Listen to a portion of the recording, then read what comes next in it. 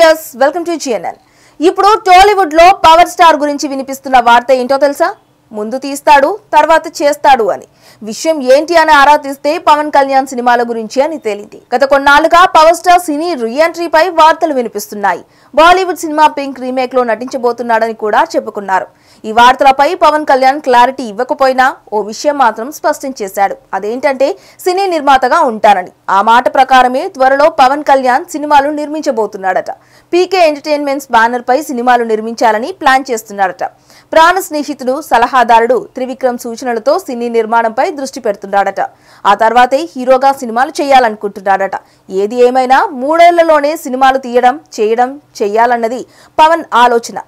మళ్ళీ రెండు వేల ఇరవై నాలుగులో ఎన్నికలు వస్తాయి కాబట్టి ఈలోపే సినిమాలు పూర్తి చేసి మళ్ళీ రాజకీయాల వైపు బిజీ అవ్వాలనుకుంటున్నాడట.